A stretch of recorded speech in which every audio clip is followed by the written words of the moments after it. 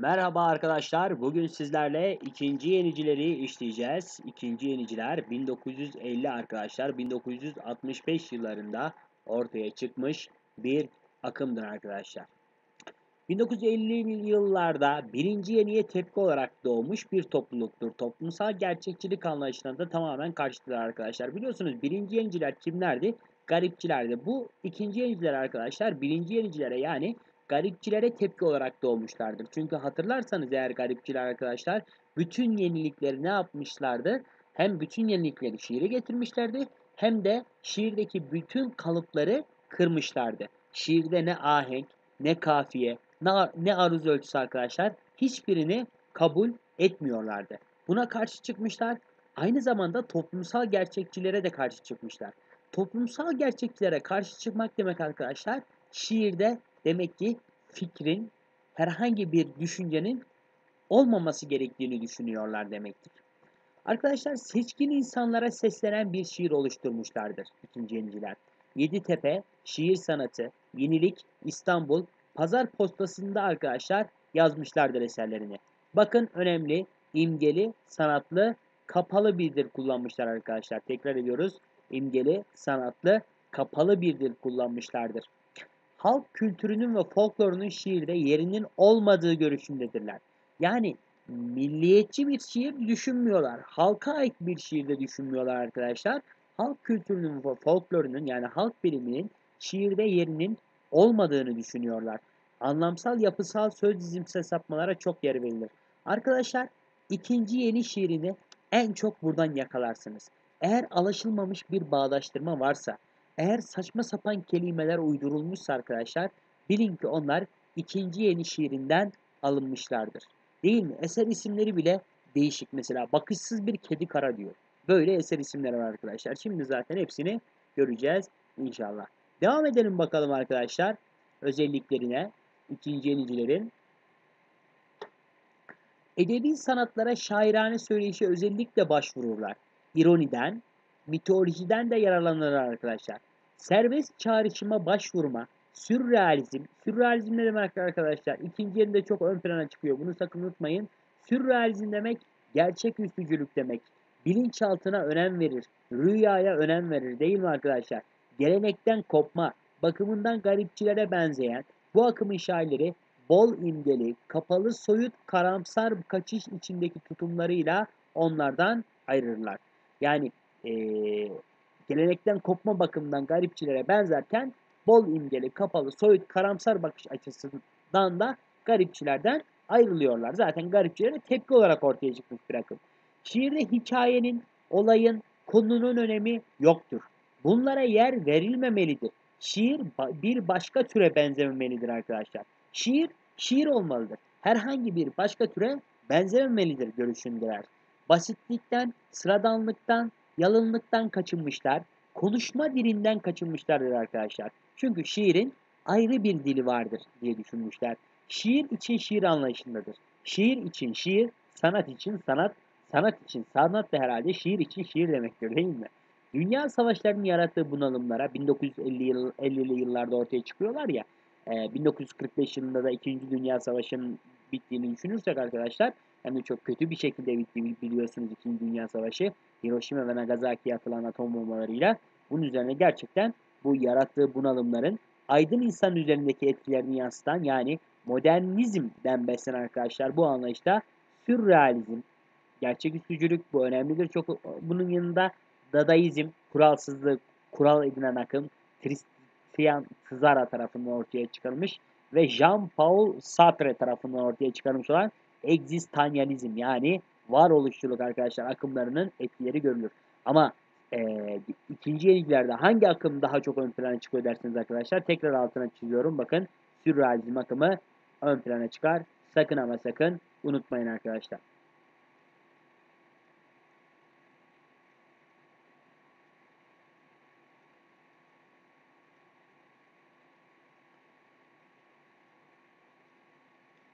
Arkadaşlarım 2. Dünya Savaşı'nın getirdiği toplumsal çalkantıların, huzursuzlukların, yoksullukların, yoksullukların tek partili dayatmacı bir zihniyetin bunalttığı, entelektüel insanın kendini ifade etme tarzı olarak kabul görmüş.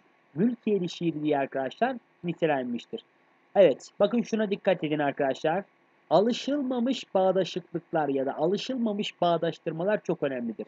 Adam diyor ki mesela şöyle düşünün arkadaşlar alışılmamış bağdaştırma nasıl olur derseniz e, kaleme siyah kalem, dolma kalem, kurşun kalem, mürekkep kalem dediğinizde bu sizin dikkatinizi çekmez. Çünkü bu alışılmış bağdaştırmadır. Ama siz kaleme güzel kalem, yakışıklı kalem, çekici kalem, hoş kalem diye arkadaşlar tabirler kullanırsanız işte bu alışılmamış bağdaştırmalar olur.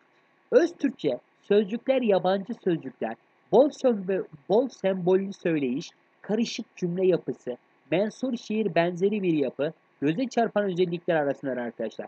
Gerçeküstü yani az önce söyledik yine sürrealist bir şiir ortaya koyanlar bilinçaltına unutmayın arkadaşlar bilinçaltına önem verirler. Aklı ve anlamı devre dışı bırakırlar. Bakın 2014 LYS'de bunu sormuşlar. Bilginiz olsun arkadaşlarım.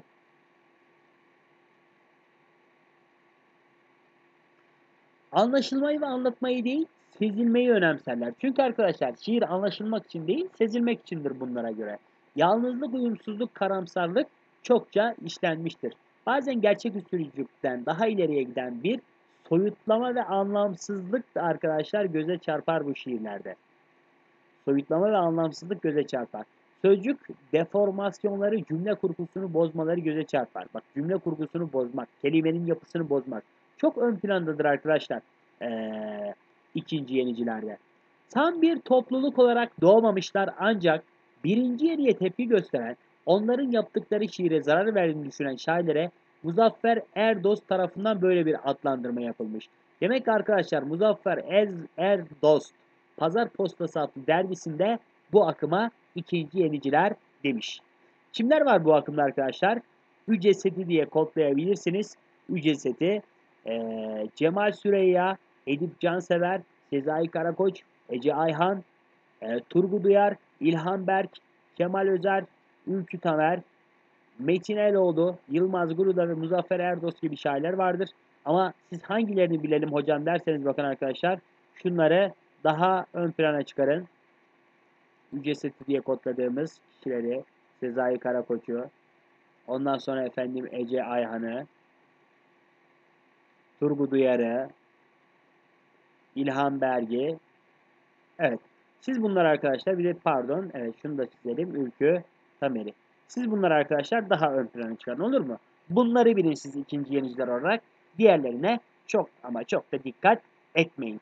Bir de Muzaffer Erdost'un Pazar Postası dergisinde e, bu akıma ikinci yenici isimlerini koyduğunu unutmayın diyelim arkadaşlar. Ve şimdi de başlayalım Edip Cansever'le. Arkadaşlar Eyüp Cansever 1928-1986 yıllar arasında yaşamış. İstanbulludur kendisi. Yüksek Ticaret Okulu yarıda bırakıp kapalı çarşıdaki turistik eşyalar satan dükkanlarında ticarete başlamış ve kendini şiir adamıştır arkadaşlar. Değil mi?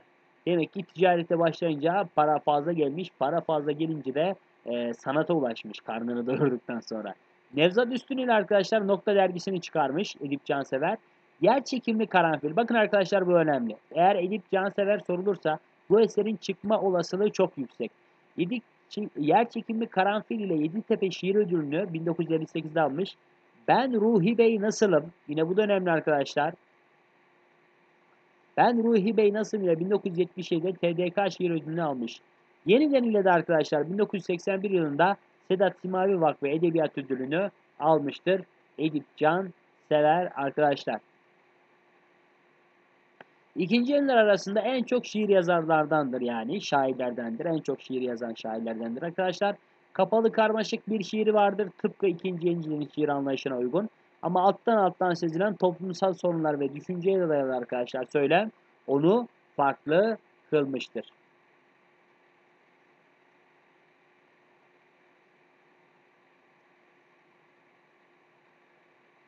O anlamsızlığı arkadaşlar savunmamıştır. İlk şiirinde yaşama sevinci, tatlı avarelikler, peşinde koşan, yaşama tutkusu dolu bir şiir delikanlısının şey, duygularını içeren şiirler yazmış. Yani garipçilerin tarzında birazcık andırır. 1958'de arkadaşlar asıl kişiliğini bulur ve varoluşçu, egzistanyalist, sürrealist, gerçeküstücü bir anlayışla yazar. çağdaş insanın bunalımlarını anlatır. Düşünce ağırlıklı, yoruma açık şiirler yazar arkadaşlar. Baktığımız zaman eserlerin arkadaşlar özellikle altını çizdiğim eserlerini iyi bilin.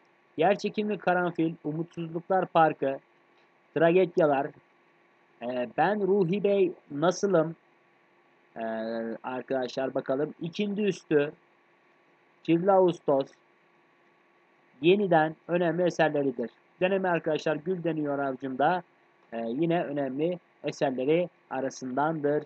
Özellikle altını çizdiklerimi iyi bilin arkadaşlar. E, Eyüp Cansever sorulduğu zaman bu altını çizdiklerimi sorma ihtimalleri daha yüksektir. Sakın ama sakın unutmayın arkadaşlar. Gördüğünüz gibi şiirlerini de almış Edip Can Sever'in geçtik.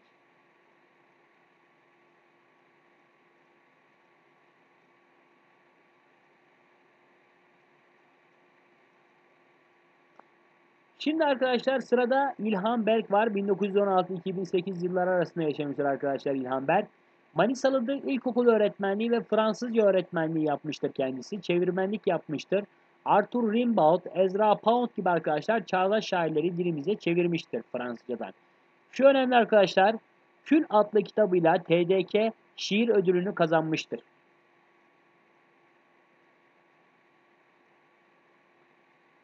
İstanbul kitabıyla arkadaşlar İlhan Berk 1980'de Behçet Necatigil şiir ödülünü kazanmıştır. Deniz Eskisi ile 1983'te Yeditepe şiir ödülünü kazanmışlar arkadaşlar. Güzel Irmak ile 1988'de Sedat Simavi ödülünü kazanmıştır. Yine arkadaşlar ilk şiirlerini hece vezine yazan şair bunları Güneşi Yakanların Selamı adıyla arkadaşlar kitabında e, toplamış, bunları kitaplaştırmış. Sürekli değişler içerisinde bir şiirin yapısını sürekli değiştiren şairde içerikli çeşitlilik göstermiştir arkadaşlar. Gündelik yaşam sahnelerini betimleyen şiirlerden zengin çağrışımlı, anlam çıkarılmayan, karamsar, cinsellik çağrışımları bulunan ve zamanla arkadaşlar nesre yaklaşan şiirlerini de yazmıştır. İstanbul yorumlarını yansıtan şiirlerinde argoya kayar, emekçi sınıfın yaşamına değinen telmihler göze çarpar arkadaşlar. E, e, İlhan Bergin şiirlerinde. Eserlerine baktığımız zaman arkadaşlar İlhan Bergin özellikle altını çizdiklerimi iyi bilin.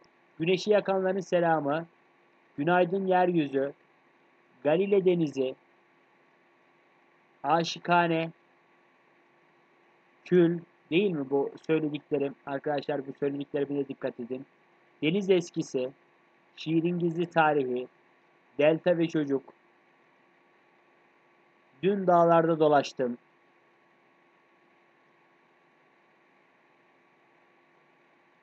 Adlandırılmayan yoktur. Afronizmalar önemli arkadaşlar. Günlük var el yazılarına vuruyor. Güneş deneme var. Şifa Lotlar kitabı kanatlı gibi eserleri var arkadaşlar. Ee, İlham Bergin. Güzel Irmak şiirini görüyorsunuz arkadaşlar.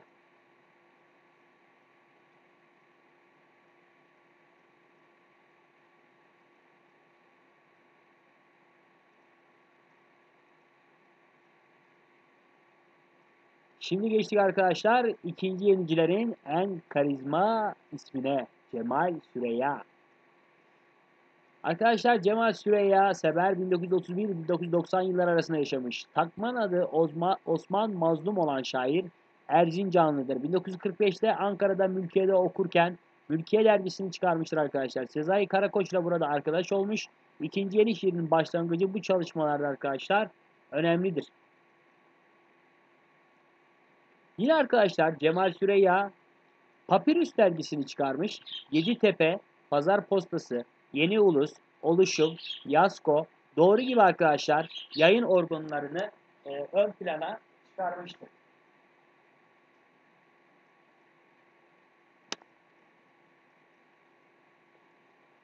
Özellikle arkadaşlar Üvercinka adlı şiiri ile Yeditepe şiir armağanı kazanmış. E, Göçebe ile TDK şiir ödülünü almış arkadaşlar. Sıcak Nal ve Güz Bitti ile arkadaşlar da Behçet Necadigil şiir ödülünü kazanmıştır. Özellikle bu siyah punto ile yazılanlar arkadaşlar önemlidir. Cemal Süreyya için sakın ama sakın unutmayın. Arkadaşlar ikinci yedilerin öncüsü olmuş Papyrus da onları toplamıştır.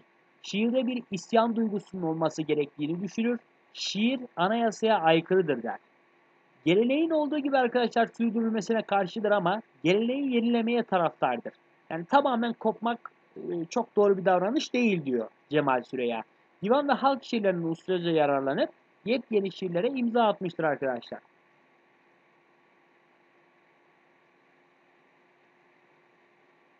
Zaman zaman ironik bir yaklaşımla yaşadığımız çağı eleştirir. Lirizm ve erotizm en egemen ögelerdir arkadaşlar şiirlerinde. Özgün bir dil yaratmış. Bu dili yaratırken de halk deyimlerinden yararlanmış. Gelenekten yenilik yaratabilen ender sanatçılardandır. Bu açıdan da zaten önemlidir arkadaşlar. Bakın şu özelliği gerçekten önemli. Açık veya kapalı bütün şiirlerinde arkadaşlar bir anlam yüklüdür. Anlamsızlığı seven ikinci yeni anlayışından bu yönüyle ayrılır. Yani şiirlerine anlam yüklemeye de çalışan sanatçılardan bir tanesidir arkadaşlar. Bilginiz olsun. Folklor şiire düşmandır der. Sloganist yani halk bilimi şiire düşmandır arkadaşlar. Sloganist şiire karşıdır. Marksizm ile sürrealizm arasında ilişki kurar. Toplum yani Marksist ideoloji toplumcu gerçekçi ideolojiyle arkadaşlar gerçek üstücülük arasında ilişki kurar. Şiirde asıl olan hikaye etmek değil, kelimeler arasında kurulacak şiirsel yüktür der. Her şairin dile yenilikler eklemesi gerektiğini söyler. Buluşları ve söyleyişleri biçiminde arkadaşlar ikinci elinin karanlığına gidermiştir. Ahmet Haşim'e yakın öz şiir anlayışındadır. Kim? Cemal Süreya arkadaşlar. Bakın Cemal Süreya'nın şu eserleri gerçekten çok önemlidir. Son özelliğini de okuyalım. Tarih, din, aile gibi sosyal konularda olumsuz bakar. Bu konuların nükteli, ironili olarak kısa Türk tarihi olarak adlı şiirinde arkadaşlar bütün Türk tarihinin adeta eşkıyalıktan ibaret gibi gösterir. Bakın arkadaşlar şu şiirlerin hepsi önemli. Üvercinka, Göçebe, Beni öp sonra doğur beni. Bakın arkadaşlar isimleri bile değişik değil mi? Farklı. Uçurumda açan sevda sözleri. Düz bitiği sıcak nal. Deneme yarışına bakın. Şapkam dolu çiçekle. Uzak saçlarını frikya. Folklor şiire düşman. Günlük üstü kalsın. Mektup 13 günün mektupları arkadaşlar. Gördüğünüz gibi Cemal Süreyya'nın eserleri. Afrika var arkadaşlar. Bakın. Afrika dediğim bir garip kıta el bilir alem bilir ki şekli bozulmasın diye Akdeniz'in hala eskisi gibi çizilir haritalarda. Gördüğünüz gibi şiirleri arkadaşlar. Devam edelim.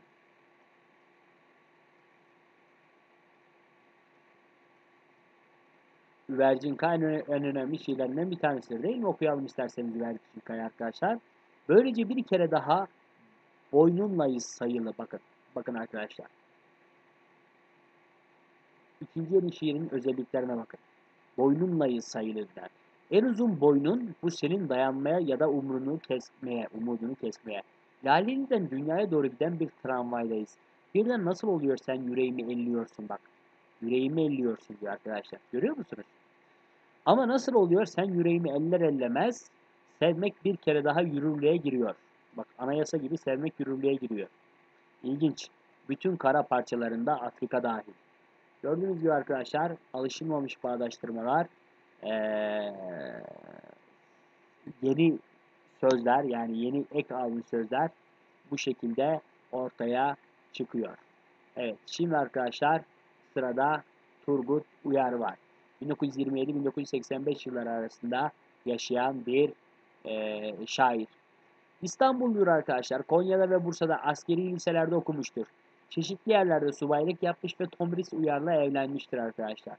İlk şiirlerinde ölçü ve uyaktan yararlanmış, gelenekçidir. Aşk, ayrılık, avarelik, yaşam arzusu gibi bireysel yaşantılarını ve çevrenin anlatıldığı arkadaşlar bu şiirleri garipçilerin anlayışına yakın bir şekilde dile getirmiş.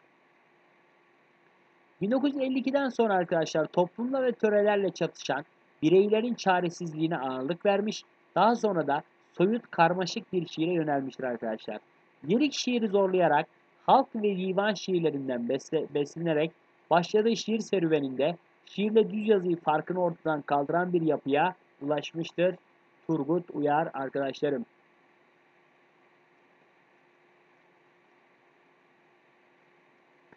Modernizmin etkisindedir. Kent yaşamının yarattığı karmaşıklığı ve sarsıntıları imgeli çağrışımda kapalı soyut bir yapıda anlatır.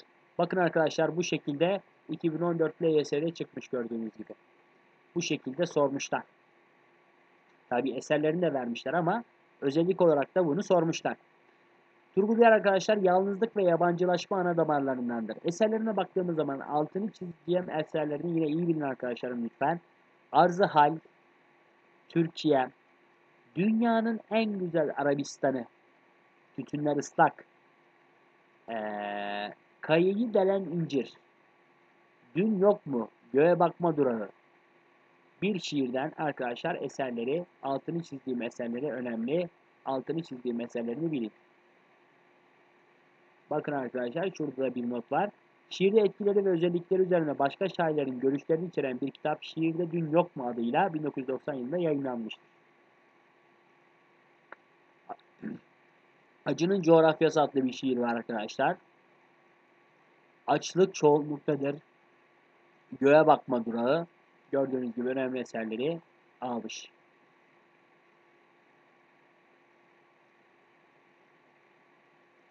Geçtik arkadaşlar.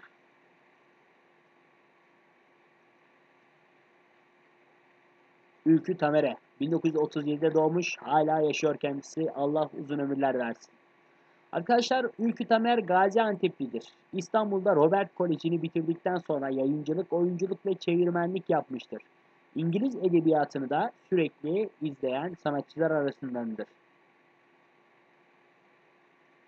İlk şiirler arkadaşlar dünyanın bir köşesinde Lucia adıyla Kaynak dergisinde yayınlanmıştır. İkinci yeni anlayışı tam yerleştikten sonra ikinci yeniye katılmış ama dil yönünden arkadaşlar kendine özgü olmayı başarmıştır. Özgün imgeler oluşturmuş, süs ve özentiden uzak arkadaşlar yalın bir söyleyiş yakalamıştır. Kim? Ülkü Tamer. Devam edelim. Keskin bir ironi göze çarpar arkadaşlar. 1970'lerden sonra toplumsal duyarlılıklar ekseninde derin acıları ve beşeri trajedileri de dile getirmiştir. Ölüm, yiğitlik, aşk temalarını birleştirerek işler, şiire ağırlık vermiş bir sanatçımış, sanatçımızdır. Shakespeare'i ve Otello'yu arkadaşlar başarılı biçimde çevirmiş. Bak bu önemli. Arkadaşlar Ülkü Tamer Shakespeare'i ve Otello'yu çevirmiştir. Ayrıca Alleben Öyküleri adlı kitabında da başarılı öyküler yazmışlar arkadaşlar. Kralı Gemisi adlı kitabında seçtiği şiirlerini el yazısıyla yayınlamıştır.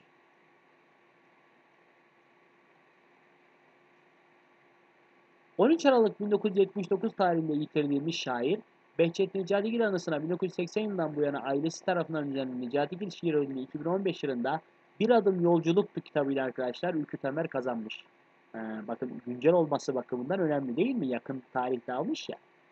Bu eserini onun için unutmayın bakın. 2015'te almış daha. Bu yıl sorulabilir mi? Sorulabilir yani. Ee, ne, Necati Gil Şiir Ödülünü 2015 yılında Bir Adım Yolculuklu kitabıyla kazanan sanatçı hangisidir diye arkadaşlar bir soru gelebilir. Olur mu? Olur yani. Onun için dikkat edin. Kim kim bu sanatçı? Kim? Kim?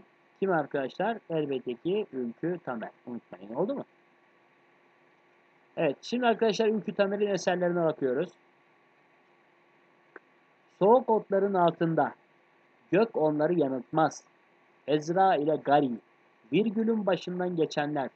İçime çektiğim hava değil gökyüzüdür. Sıra göller. Yanardağın üstündeki kuş önemli arkadaşlar. Alleven hikayeleri var. Otelle ve Miteola'yı arkadaşlar çevirmiştir. Kralı var. Değil mi? Evet. Güneş topla benim için. Bunu biliyorsunuz değil mi arkadaşlar? Zülfü Livaneli bunu besteledi hatta. Ülkü Tamer'in. Ne diyordu?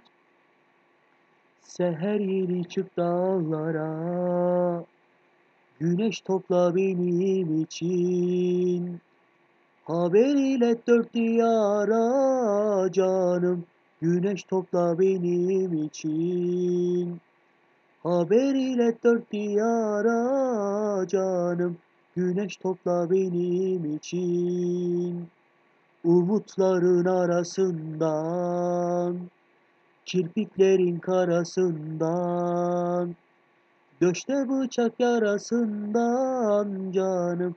Güneş topla benim için Döşte bıçak yarasından canım Güneş topla benim için.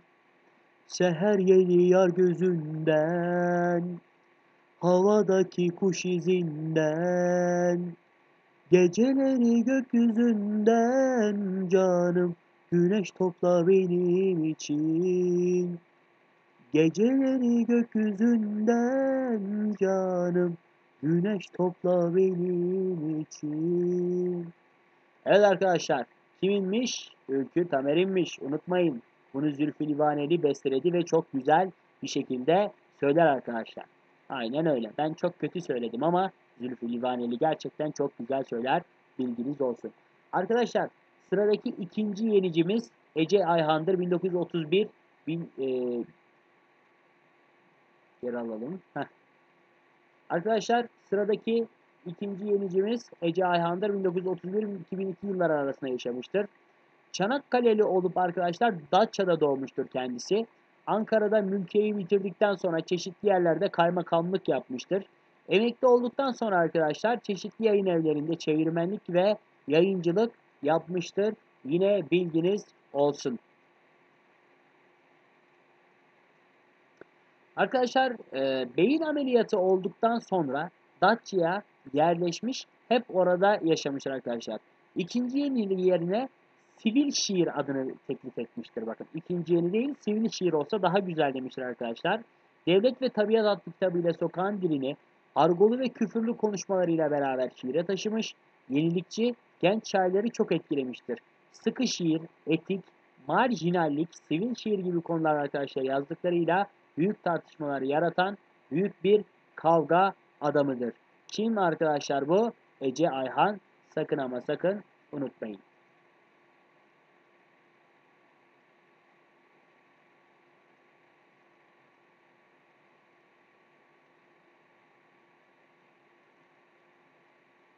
Arkadaşlar Ece Ayhan modernizmin etkisindedir. Dünyaya karanlık bir bakışı vardır. Ölüm, tarih, şehir yaşamı, ekonomi, ideoloji onun göndermeler yaptığı temalarında arkadaşlar. Sürrealizm, gerçeküstücülük onun beslendiği bir kaynaktır. Ancak çok çaba harcayarak anlaşılabilecek aklın sınırlarını zorlayan bir şiiri vardır. En kapalı yazan ikinci yenicidir arkadaşlar.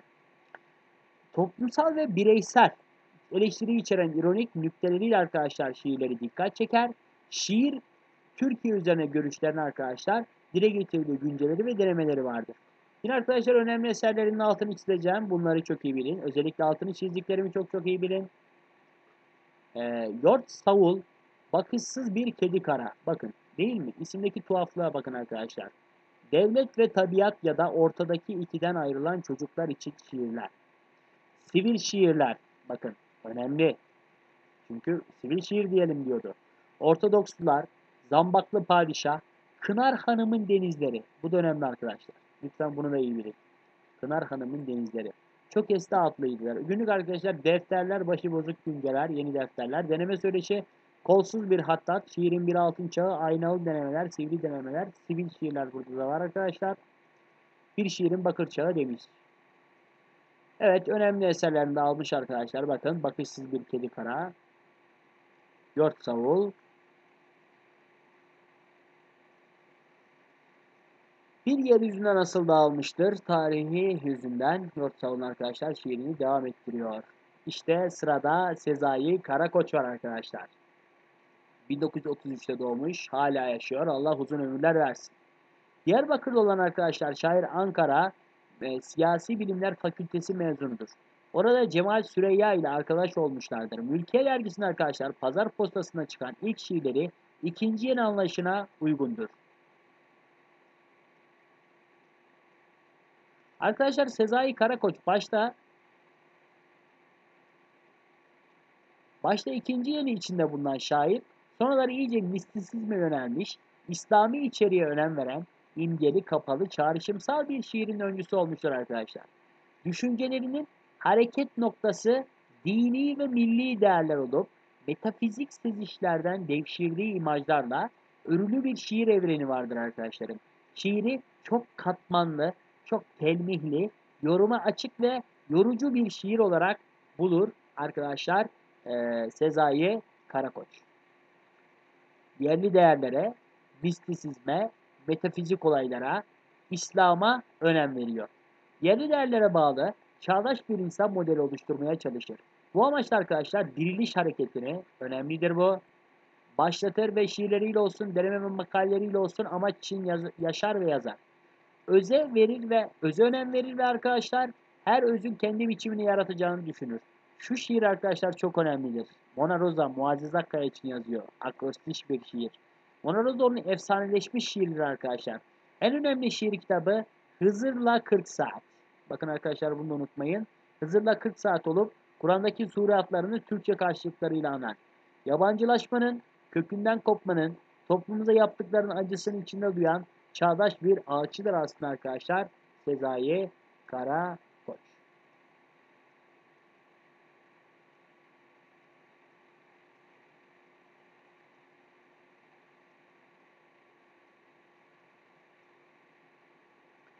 Bazı kelimeler arkadaşlar ilk kullananı kendisidir ama o bir öz Türkçeci de değildir. Şiir anlatımına, atmosferine uygun bulduğu sürece yerli ve yabancı her kelimeyi kullanır. İçerik olarak arkadaşlar milliyetçi, dindar, muhafazakar, üslup ve şekil olarak da ikinci yenicidir. Destansı şiirlerde yazan şair, kutsal kitaplardaki arkadaşlar kıssaları da çağdaş bir anlatımda ustaca dile getirmiştir.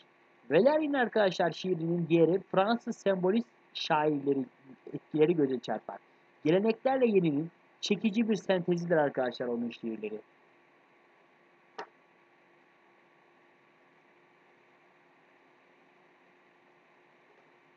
Sezai Karakoç arkadaşlar çocukluk anıları, ölüm, metafizik, kötümserlik onun şiirlerinde alttan alta sizilir.